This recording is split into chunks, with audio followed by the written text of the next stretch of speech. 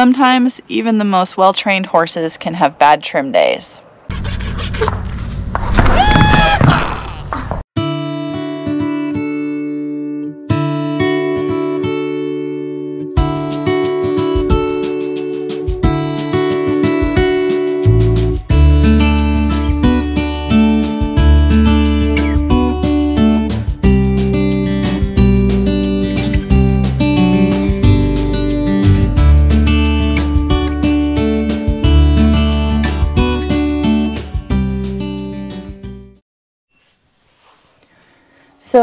This video is a, a, young horse that I've trimmed a couple times now. And he's a really lovely young horse. And he has really wonderful owners that spend a lot of time with him. And he's actually usually um, one of the best horses that I, I get to trim. And so when he showed up on this day with some of the behavioral issues he was presenting, I was really surprised. And normally he just stands there like a champ. So this video is not actually a good video um, of a trimmer. I don't think it is, but it's a good video that shows some of the things I might do to kind of micromanage my way through a trim. And the biggest thing that I usually tell people is that when I come across a problem with a horse that doesn't want to pick up its hooves or let me hold its hooves or let me put that hoof between my legs and on the stand, um, I don't usually hyper focus on that specific thing. I will find a brace somewhere else that the horse is presenting to me and work on that thing.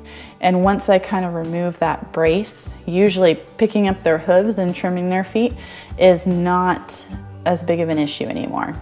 So that's what I did in this video. I worked on getting him soft with leading, coming forward and going backwards, and I worked on putting a bend through his neck and his head and his poll.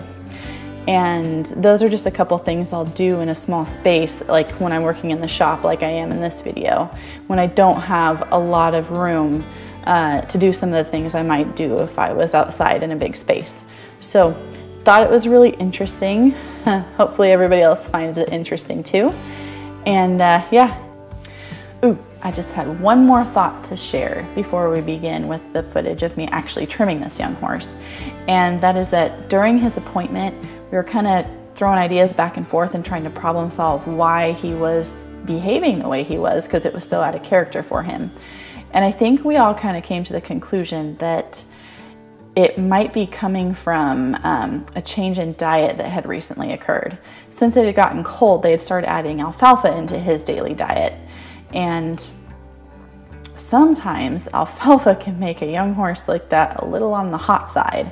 So kind of following the theory of Occam's razor, usually the simplest answer is the correct one. They decided they'd probably go home and remove that from his diet and see if that made any positive behavior changes. So fingers crossed that uh, that's what the answer is. We'll find out next time. Okay, that's it, I swear. I'll stop talking now and you can see what I actually did. Good boy. On a rock star. Yeah, he might just be having some growing pains. Where they, for a while they go along to get along, and then they get to a certain age and they start going, well, why? so we're like,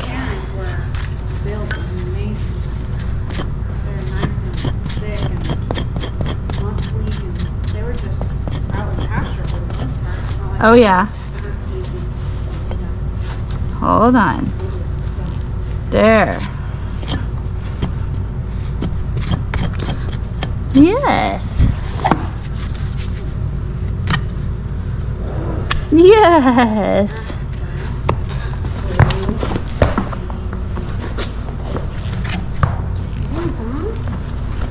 They're having a bad day. Hold on, pick it up. Oh, you gotta come back now. Well, make you face this way then. Mm -hmm. It's okay. Hold on. Here, mister. Come here. We're just gonna get you a little softer. Look. Hello. See? Yes. Now go back. Good. Now come forward. Good. One more step. I felt a brace. Good boy. I know, it's weird. There's a big old tractor right here. I guess this hasn't been in there. There we go. He's not one to spook. Hi. Uh, He just, uh, I think he's just being horny. He's like, I am just a young horse. And I'm just learning all the new things.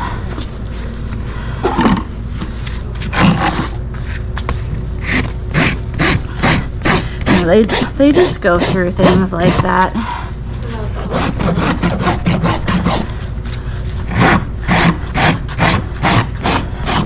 And I think the last time he came here, um, one of the other horses was pretty mean to him. Yeah. So it might have nothing to do with like training or anything. He might have just been like, I don't want to get in there with her.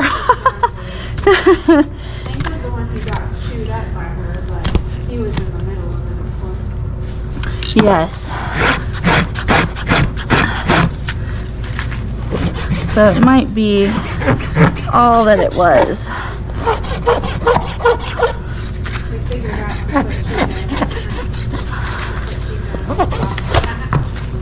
In the front.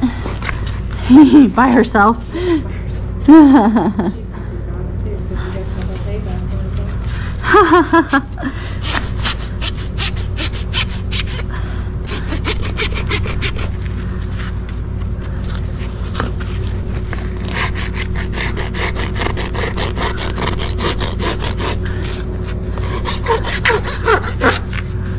Hold on. I'm gonna get you. Hold on. There. Okay, now to the other front foot. And we'll do his hinds last. There you go. Chica seemed fine to you, right? As far as with her little accident? She didn't Yeah. No. She looked how she normally does.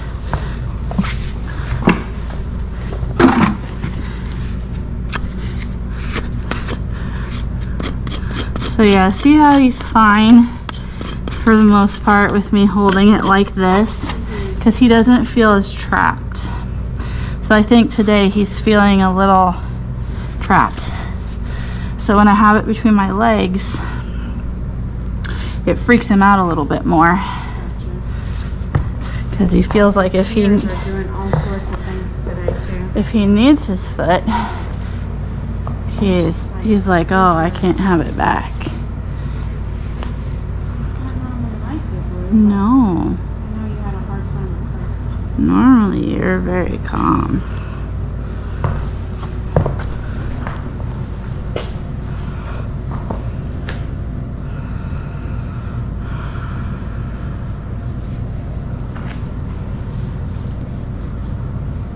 there Let's see if get there's certain positions you can kind of put their body in which will create relaxation as a default see how his head went down that time so if you can put any type of bend anywhere in their body and get softness it will kind of see how soft he got that time it will force Which their brain really well. to relax Okay. when they're in a place of tension Okay. That's why we do like the bend to a stop and disengaging the hindquarters. It also gets their body to do good things, but what those movements do to the brain have a really awesome positive effect. They can't do them softly and hold tension. So it it almost forces them to relax.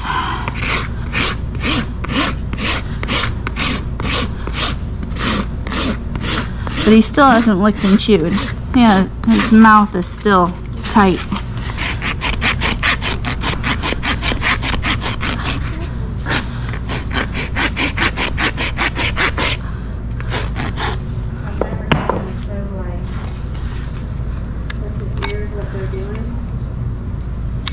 Yeah. Doesn't want to get in trouble. Yeah. And he's anticipating that if he does the wrong thing, that he may get in trouble.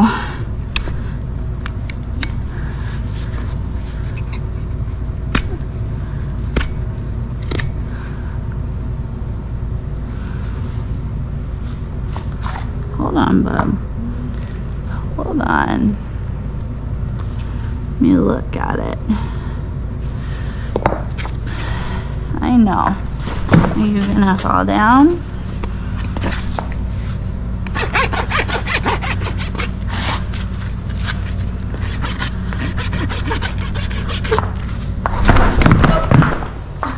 Did he bump his butt? He bumped into it, yeah. I was trying to I couldn't tell he was that close. Yeah, we were Come on. close. now he'll blow. Good boy. Hold on.